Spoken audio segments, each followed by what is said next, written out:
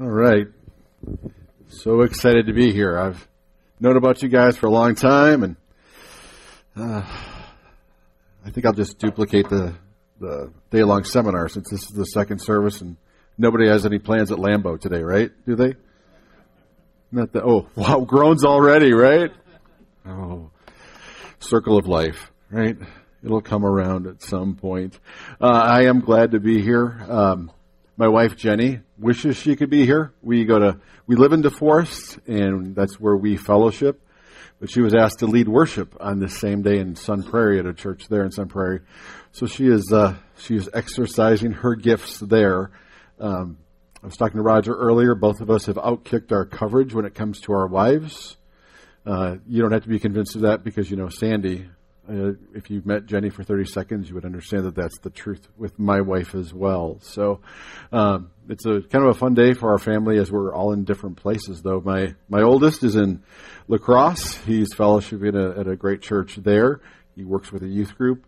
Uh, our next son, Alex, is uh, giving his testimony probably right about now at the church that he's at as he goes to the university in Whitewater and my daughter is probably just rolling out of bed. She said she wanted to join me for both services, but she was up at 3:30 yesterday morning and didn't get home until nine o'clock. She had a uh, a show choir event, and she had all the best intentions. Her heart is here, and I wish you could meet her as well. So, yeah, it's uh, been a crazy year in the last year for us uh, with our with our automobiles, our family has single handedly decided to uh, support the family of the owner of uh, DeForest Collision and Repair.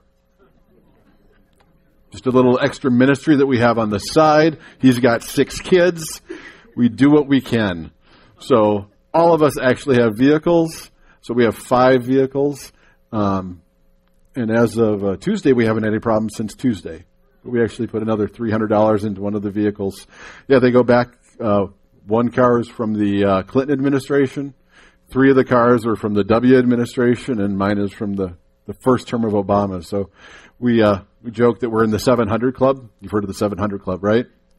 Well, we're in the 700,000 mile club. I think when you add up all our miles, we're at least at 700,000 miles. But uh, yeah, so one of the uh, days my car was it was my my car's turn to be in the shop. So I borrowed my wife's van. She didn't need the car for the day. And uh, so I thought, being a good husband, trying to score some points, we do that, ladies. Um, I thought, well, the car's kind of a mess. I think I'll take it to Octopus Car Wash and and bless her with a clean car inside and out. It's always nice to have somebody do that for you. And so, uh, as I I jumped out of the car, let them take the car through the car wash. I don't like to waste a whole lot of time uh, doing things. I like to at least be productive even when I'm not doing anything. And so I'm one of those guys that wears one of these. I'm not like expecting a call every time. I just like listening to podcasts or teaching or music. You know, so I thought I'd throw this in my ear as my car was being washed and catch up on the latest teaching. So, so I let go of my van. I start listening to something, and then uh, not long after, I get a phone call. I'm like, all right, hit the Bluetooth and start talking to my friend Mark. Mark said, Hey, I, um, I know that you've helped me and my wife a lot in our marriage, but our daughter is having some anxiety issues. She's got some allergies and she had a bad reaction, and now she's really freaked out about eating. And I thought maybe with, with what you guys do, it could be helpful to her. And so I start talking to him a little bit, asking him questions about the situation uh, while my car is going through. And you know, if you're ever ever been to an octopus, you can see your car kind of going through. And so uh, I'm, I'm talking to him, trying to understand the situation, and then phone cuts out. I lose the call. I'm like, "Can you hear me now, Mark? What's what's going?" You know, and I, I was confused because I looked at my phone, and the timer was still going. You could still see the call time. I'm like, "What?" I'm, okay, checking my, the lights on, everything's cool, volume's up. What happened? I look at my phone again. It, the timer's still going. Finally, all right, well, I stop the call and I, I, call him again. For a few seconds, I'm, I'm on the phone with him and then cuts out again. Like, what? What is going on? And so I decided, okay, well, this thing ain't working. I can say ain't here, right? That's, I am educated. But um, I call without the Bluetooth on, and I'm like, Mark, sorry about that. Uh, ah, what was happening? He's like, I was, I know you're at Octopus right now, but it was like I was in the car wash. I'm like, oh, that's funny. And then it dawned on me what happened. He was in the car wash. We've got a Bluetooth in our van, and it transferred from here to inside the van. So he's hearing the car wash, and I'm hearing nothing. and so I just thought, wow, what a great illustration. Before I, t- I get used to that, that'd be weird to preach with that the whole time. Uh, wow, connection. Don't we all want to be connected to our Creator? To keep that connection? The Lord never loses His connection with us, but there are things that get in the way of us losing our connection with Him. And that really is a huge part of what we do in our ministry. It's not about how smart I am and how I can download what I know to somebody else. It's really about what Jesus says in John 8. We're not going to take a whole lot of time to delve into all the context of what was going on in that passage. But in John 8, verse 32, you guys know it well. Then you will know the truth, and the truth will set you free. A little bit later in the passage, Jesus says in verse 36 So if the Son sets you free, you will be free indeed. So I want to take some time this morning and this afternoon and into the evening, right? No. Uh, to talk about three words know, truth, and free. What does it mean to know? Well, we can know informationally certain things. We can get smarter about things. Some of us are kind of smart in our biblical knowledge, kind of smart in some of the principles as, as Jesus followers that we should know. But what Jesus is talking about here has so much more to do about experientially knowing. There's a huge difference between, because I've had three kids go through driver's ed and them sitting in a class and knowing things. You have to know things to be able to drive a car. But the rubber really meets the road when they get behind the wheel, correct? You don't know how to drive just by sitting in a class. You can be informed on some of the, the rules and the laws, but it's not until you actually are behind that steering wheel that you really start to understand and experience what it means to drive. So, this experiential engagement with Jesus, that's what he's really interested in. The title of my message is The Lopsided Left. And if, I, if that's in your bulletin, some of you might, thought, might have thought, oh, what kind of political statement am I making today? Uh, none.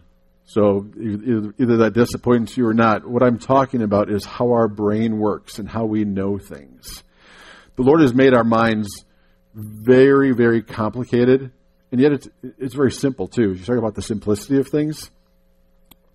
There's different ways that the brain works, and I paint with a broad brush. I've never done brain surgery. I think what we do is mind surgery at our ministry, but the brain works in many different ways. And one of the ways it works is it actually works up and down. It actually works forward and backward. And it uh, also works left to right, right to left, left to right, right to left. The left side of the brain is the logical, analytical, rational side of our brain. That's the safer side of our brain. So when you learn a principle, when you learn scripture, when you learn anything, that's where most of it lives. I spent my time a, in a great youth group, in a great church, a great Bible school, and in a great seminary. And by the time I was done, I walked around lopsided with all this information. Right? Some people call seminary cemetery because you can die just only focusing on the lopsided left. But the, the word says, taste and see that I am good. Not just think about it, consider it, taste it, see it, right? Like a big juicy piece of fruit. That's he wants us to dive into him and to be trusting of who he is. You know, even just the word believe doesn't quite say it strongly enough. To trust him, to put your hope in him. He wants us to do that, and he gives us reason to do so. When my daughter was in seventh grade, she was transitioning. She'd she'd done public school then we pulled her out because of some situations. I did homeschooling for a while. And when she transitioned back into seventh grade, she had dance going on and she had some clubs she was in and she was just kind of overwhelmed by all the things happening in her life early on in, in that seventh grade experience. I was downstairs in our bedroom. My wife was gone, boys or wherever they are. She comes downstairs and she says, Daddy, how do you spell appreciate? That's random. So I, I spelled it out for her. I'm like, why, why do you want to know that? She's like, well, Mom asked me to clean my room, and I just have been so busy, and I, I just didn't have time to do it. And she really was. She was really busy. And Jenny, recognizing that, cleaned her room for her. Didn't want to make it a practice, but she cleaned her room, and, and Bryn just came into her room and saw how clean and tidy her room was. And it just filled her heart with gratefulness. So she wanted to write a note. Like she couldn't help but write that note. It wasn't my wife saying, you know what, I cleaned Bryn's room. She better appreciate you better tell her how much she should appreciate it. It just was there. And that's the kind of relationship Jesus wants to build with us. He wins us over by his love. He wins us over as we open the door to our heart in some pretty painful places. He wins us over so we can't help but to be grateful and changed. That's what I'm interested in. So there's the word know, there's the word truth. And all truth is God's truth. Our left brain can know that because I believe that. And truth is everything that is in, cor- in accordance with fact or reality. The left side of our brain, still, as much as I'm just tipped over like this, I think about what my left brain believed 20 years ago, and I'm in a different place. I think that's probably good for all of us to be sharpening our understanding of what, what God is trying to communicate through His Word, through His Spirit. So those things should sort of continually be growing. But truth is more than just those concepts. As, as, Jesus is explaining this, what he's really trying to tell them, it's not just about the principles, it's not just about the concepts. He is saying, I am the embodiment of truth, right? He says, I am the way, the truth, and the life. Some people have said that after he says, I am the way, because there's not a whole lot of uh, grammar and punctuation in the Greek language. I am the way, colon, the truth, and the life. Truth is a person. We get to follow a person. I can't have too much of a relationship with a concept. I can play around with that in my mind. But I can have a relationship with a person through the power of His Spirit. So that's the kind of truth that I want to experience over and over. Then there's this word freedom, which really means an absence of anything that restricts us. And when Jesus is talking here in John 8, he probably is talking to some extent about sin. There was really no understanding from that mindset. In the Old Testament, it was constantly trying to do things and constant sacrifices. Our men's group on Thursday mornings and studying the book of Hebrews, and I'm coming more and more into an appreciation of that mindset they had, and the writer of Hebrews trying to tell them, hey, this is different. Jesus was a sacrifice once for all. That's the kind of freedom that he wants to give us, but not just for our sins. I think Jesus died on the cross not just for our sins, but for all of our hurts, our pains, all the things that we carry. Hebrews 12:1 says, "Hey, let's consider those things that so easily entangle us and the sin that holds us back. Let's consider those things and see what that's about." So that we can be set free of those things. So I think when we trust Christ, we are free, and yet not a whole lot changes in our thinker. I think our spirit is given the Holy Spirit in a way that we never knew before, and that Spirit is alive and free, and the Holy Spirit has perfect residence in that place. But that, that decision to trust Christ like that doesn't necessarily change the pattern of thinking that Romans 12 talks about that we need to be renewed in. So I just want to give you some examples of what that really looks like. But first, I want to try to explain this. Let's just say that the water that's in this bottle here is truth. We agree that if this is the Lord Himself, if this is some teacher that we can respect and we want to pour into, or some friend that's been walking with Jesus for a long time, they've got some information here that that would help us along the way. And so here I am. Okay, yeah, I want you to pour some truth in me. And just get some of that in me. That's what I need right there. Get some truth in me right there. That was so good. Did you, that guy that got up and spoke, that woman that gave that testimony, wow, that was really awesome. It's really good. Uh, well, didn't really get a whole lot in the bottle there, right? Well, maybe if I do this, I'll unscrew the cap a little bit more. Yeah. I'm a little more open than I was before. Mm, let's get in a little bit more. Yeah, maybe a little bit as I wet myself here. Oh, now I can drink that in. The problem isn't with the giver of truth, it's with the receptor, the Bluetooth, right? That gets disconnected. I want to position myself in a way where that cap is open to whatever the Lord wants to do in my life as much as possible. So, as I successfully wet myself,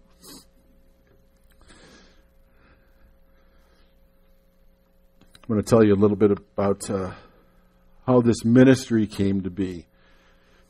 Uh, back in the late 90s, it was uh, it was a great time at our church. We were growing. I was a youth pastor. I was actually the associate. I was anybody who was 35 or under. They were my responsibility, and uh, I enjoyed that to some extent. Um, and our church actually had a beautiful vision. It was a vision of bringing charismatics and evangelicals together. And Pastor Dick Sisson, some of you might be familiar with him, an amazingly gifted person who had a, has a huge heart for Jesus and, a, an evangelistic heart wanted to bring those two worlds together in a beautiful way. And there was a time where that was just, it was a lovely, beautiful thing. and a few years into it, there was a se- seminar, workshop thing going on in Iowa. It was a spiritual warfare seminar. And I already had plenty of irons in the fire. Had youth ministry, had young adult ministry, kind of oversaw the kids ministry as well, and had two little boys at the time.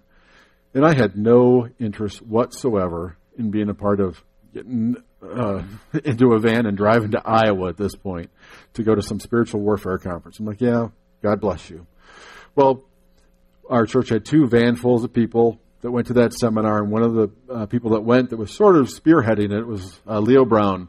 Leo was a um, former missionary to India, pretty much seen it all, at least to that point, and uh, was just finishing a, a, a master's degree in counseling and in nouthetic counseling, which is basically you take what the Bible says and apply it to whatever people's problems are.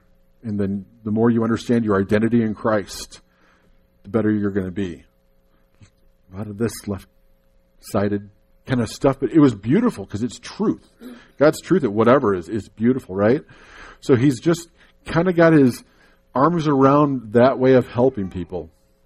Well, as they uh, as people go to different breakouts, workshops uh, that weekend, the buzz was around this one workshop, and it was called Theophostic Prayer Ministry. Some of you might have, might have heard that. We don't even call it that anymore. We call it transformational because of the goofiness of a word. But Theo is God, Phos is light. It was basically a way to describe how God's light can penetrate deep in our hearts. One of the stories that Dr. Smith tells is uh, he was in church ministry and then he left church ministry to have a counseling ministry. And uh, without trying, what happened was there were people, women especially, who were incest survivors. And he decided to develop a support group so that these women could get to know one another, some of their struggles, and to be ministered to one at a time within the context of a group. And as they would be ministered to by Dr. Smith, he knew what they needed. He knew that ultimately they needed truth. So they would go through this process of going to the pain, going to those experiences, those places that we try to protect. We don't want to go there, right? We, we want to stay away from the pain as much as possible. In fact, more than we think, we try to manage our pain in such a way that we will never go there again. Why would we dig that stuff up again? these women were willing to do that. And as one woman in particular would go to this memory of her dad doing uh, anything but protecting her, which is what God's plan is for a father, hurting her deeply as she was reliving, re engaging in that pain, all the shame, all the guilt, all the fear, all the rejection, she would feel that every time. And when Dr. Smith would do his counseling, as she was feeling that, or every one of those women felt that, he would then tell her the truth. You're not there anymore. It's not your fault. You're not shameful. You're not guilty. You don't need to be afraid. And as he would tell them that, they would come out of those painful places and go, You're right.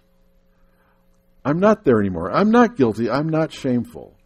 But if she were to go back into that place, it all comes back up again. So sometimes all we do, sometimes, well intentioned as it may be, we just give people really good lids to put back on top of the pain. Jesus wants to meet us in that pain. So, Dr. Smith was reading through Scripture and he was reading through John 8.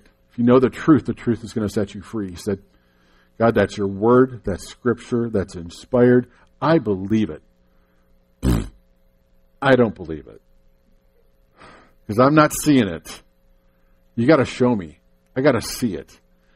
And so that prayer started a work of the Holy Spirit in Dr. Smith's life. And he started showing Dr. Smith some insights of maybe the best thing you can do for these women is to get out of the way. So, when this woman came in again, he said, You ready to go to the pain? She said, Yep, let's do it again. He said, But this time, would you be okay if we did something different? She's like, Anything. I'm so tired of retreads, going through this over and over again and not really getting very far. So she went back into the pain, identified those lies, and then instead of him telling her the truth, what a novel idea, he said, You willing to have Jesus deal with that? So she opened her heart up to Jesus. And as she was in that pain, she sat there for a while. A smile came across her face. She opened her eyes and she said, It's gone. He said, What's gone? She said, The pain's gone. He's like, What? Well, Jesus told me I'm okay. I've told you that. And she looked at him and said, Ed, you're not Jesus. Oh, that's the difference. He can meet us in that right side of our brain that carries all that pain. We've got the logic, we've got the rational, analytical part of our brain, but over here on the right side is where we carry our pain, our emotions. There's creativity, there's all these things here. Jesus is the only one who can really make a difference here. So that piqued my interest as Leo would kind of download some of the things he was learning. And one of the first people that he saw after going through that training, buying the manual, reading these things, was a gentleman that would have panic attacks on a regular basis. And whenever this gentleman in the past would have panic, attacks during a session, Leo would just say, hey, walk that thing off. We're going to get back into the scripture here. We're going to go through maybe Ephesians 1, Ephesians 3, talk about your identity, what transpired when you trusted Christ, those kind of things. And just, just walk it off until you're done and then come back here. Well, the guy had a panic attack at the, at the it was the Tuesday after this, this seminar. And, and Leo, with uh, just a fundamental, rudimentary, elementary understanding of what these principles were, said, would you be willing to do something different? All right. As he went back into that anxiety that he was feeling, Leo said, Would you be willing to feel and just, if I prayed and we asked God to help you get to where this is really coming from? Because it's not really coming from your, your current stuff. Whatever. So he, we, they prayed. Jesus helped him get to this place where, as a little boy, in the middle of the night, the neighbor lady ran in the house screaming, Johnny's dead. Johnny's dead. Johnny was his best friend who lived across the street. And so this boy that was sitting in Leo's office, when he goes back to that memory, feels so lost, so fearful, so confused. What can you or I do in that situation 30, 40 years later? Give them some scripture that that's true? Or, as Leo said, you willing to just let Jesus do something here? Yeah, whatever. So he opened his heart up to Jesus as he was engaged in that pain. And Jesus met him in his little bedroom and said, It's going to be okay. Yeah, Johnny's gone, but I'm with you. All the fear, all the pain disappeared. Never came back to that place. And last I heard, he'd never had another panic, panic attack again. I wish it always worked that simply. That's not always the journey with people, depending on their level of trauma. It's kind of like this. Now, earlier I used the water to illustrate truth. So just kind of switch your minds over. Let's say this is the right side of your brain. And all the water in there are the lies that we believe. Okay? So sometimes we'll just visit that and go, go, leave in Jesus' name. Not a whole lot happens, right? But when people are willing to engage and squeeze and invite Jesus into that place, it's amazing what he can do. And in one session or in one moment, a lot of that hurt gets squeezed out. People call me up and say, you know what, I'm good for a while. And then I'm, they might come two or three times. I love it when they, they come two or three times, deal with some of the core stuff that's rooted in things that are way beyond the current situation, and they'll come back and the Lord says, okay, let's do a little bit more twisting this way. And then maybe they'll come back again. There's more twisting. Because this is a lifelong process of sanctification and what Jesus wants to do in us. I'd much rather just say, Lord, change me. That stuff over there. But it seems like, from what I understand, Jesus is really okay with our hurts and our suffering because he was willing in the garden to say, I'm going to be an obedient son. Is there any other way? Jesus asked for another way. Could it be, you know, couldn't you just do this legal injection, lethal injection kind of thing? But God could have chosen lethal injection instead of the cross, the brutality of the cross, but He didn't. And so all the pain, the suffering, not just physically, but what it meant to have every sin, every hurt, every pain, spiritually, emotionally, on the body of Jesus, I can't even go there. So, to talk about uh, a little bit more of our process, we uh, we call it the melt process. It's easy for people to understand. What's important when people come to us is to realize that it's not about me giving them advice. It's about them stepping into whatever that pain is. And so MELT stands for memory, emotion, lies or false belief, and then truth and transformation. Memory is important because it's the container where we've had our experiences. And that's where those lies from the enemy or even ourselves are embedded. And that's where Jesus wants to meet us in those places. I got to kind of have to run through here a little bit quicker uh, this, this, morning. It's, it is a eight week seminar we're trying to do in 35 minutes or so. Uh, so memory is important because it's how we can measure things. To go back to those places and find that there's still freedom there.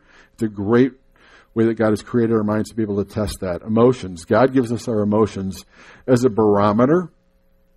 Some of us don't like our emotions. I grew up with the model that it's a train. You've got the you've got the engine, you got the cars, you got the caboose. The engine is fact. We really have to stick with fact. And those cars are the faith that we have. We want to cling, our faith should be attached to truth, right? Should be attached to fact. And then the caboose is feelings. The way it came across to me, whether it was what was said or just how I took it, was those feelings, those emotions. Not only should they be the caboose, they should be way at the other end of the tracks. Because if you're feeling anxiety, you know what? You're not walking in this, you're not doing something right. So just shut those thing down, things down and just live by faith in the facts that you know. You know, that helps some people as a, as a band aid for a while, but it's not the truth that sets us free. It's just a good crutch to help us limp along. Jesus didn't say to the man who was crippled, Hey, I got some uh, physical therapy planned for you. There are going to be some nice crutches that you're going to hop along with for a while. He said, Pick up your mat and walk. That's the kind of Jesus that I want to continually get to know better and better and better is to pick up your mat and walk, not let's hobble along together a little bit more. So those emotions alert us to a problem. It's like a kid that wants to put his finger on a hot stove. Put that finger on a hot stove. He probably only needs to learn once, right?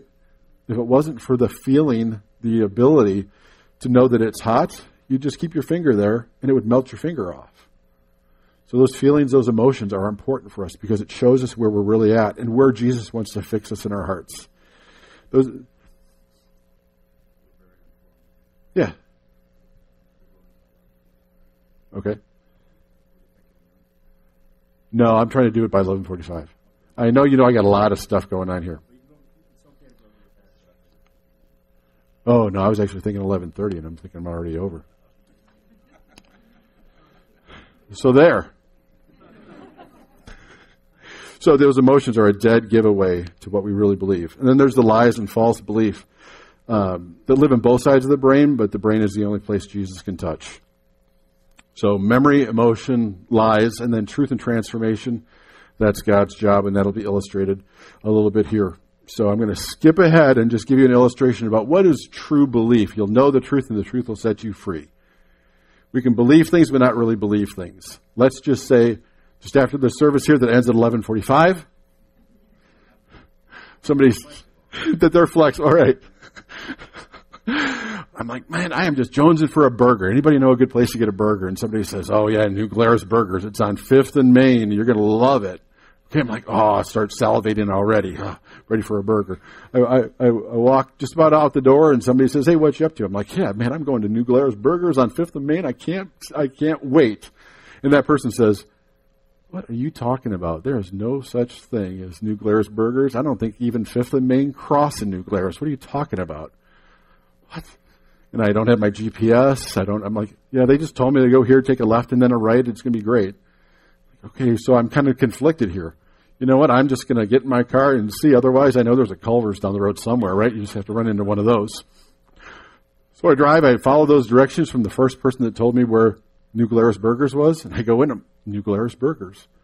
Wow. I go in there and I just chow down on the best burger I've ever had, slop it all over my shirt as a memory. I remember that thing. Okay?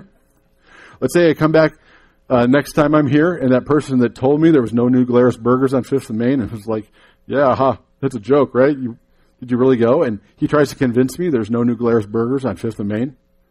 Can that guy now convince me? No way. Was I a little shaky when he first told me? I was. But because I had that experience, I cannot be talked out of it. If somebody tries to talk you into something, somebody else can talk you out of it. But if you have an experience with Jesus like that, that's rock solid. It can't be changed. So, just a few examples of what I've seen. I wish we had till noon, but we don't. So, go to our website. a good friend of mine who I had no idea struggled with alcohol, and he always had a toothpick in his mouth or chewing gum. As he went through the process, the memory, emotion, lies he identified, inviting Jesus into those places to bring truth, where sometimes people see the Lord in those painful places. Some people hear the Lord. Some people just get this sense that Jesus is doing something through his Spirit. After doing ministry with him, his jaw dropped. It had been clenched for almost 15 years because he was always trying to fight not drinking. Uh, ministry in Nicaragua to uh, ministry of people, women who have been in prostitution trying to get out. Uh, a woman who was in prostitution got out. Her daughter went into prostitution, came out. Her mom sent her back into prostitution and got murdered. The pain that was there, the guilt that she carried, went through our process not only with that event, but some stuff that was in her past. She has freedom now. She does not carry the guilt and shame. It is gone. Uh, a pastor there in Nicaragua who, as a child, watched somebody killed with a machete, eight years old, hiding out underneath the table as, as, as a man was murdered. The fear that that set into that pastor's heart, that particular fear is gone uh, a man who grew up with a very violent father that would strike him and his brother at the dinner table, caused him later to, when he would ever go out to eat or at another person's house, would, would hold himself together and, sh- and try to hide the shaking that was going on inside of his heart. As Jesus met him in one of those places where there was violence in the home, he says, "I no longer." He says, "I no longer shake." It's been over ten years for him. Um, a woman after uh, facing the pain of having an abortion couldn't stand being around little kids because of the association with little kids and her abortion. After stepping through a lot of pain in that, she now is around little kids and can't believe she doesn't feel that same pain again. A woman who was who lived the life of Cinderella with a stepmom who was torturous to her. Years later would have night terrors that she couldn't shake. Every night she said, I had night terrors. Her night terrors are gone because of what Jesus did in her heart. Uh, so many other things. A lady that uh, was abused constantly by her father. Uh, one of those memories that she went to was when she was a little girl doing the dishes. He grabbed her and abused her, and for the rest of her life, she hated doing dishes. After dealing with that particular experience, she she sent me an email with a picture of the dishes. She's like, "I did these dishes in peace." It's not about the dishes; it's about the peace in her heart. Uh, working with a, a survivor of the Las Vegas shooting, I don't have time to go into all of that, but one of the places she went to was her friend that, as the as the bullets were being fired, her friend jumped on top of her to protect her. She felt guilt over that because she put her friend in danger by not being strong enough.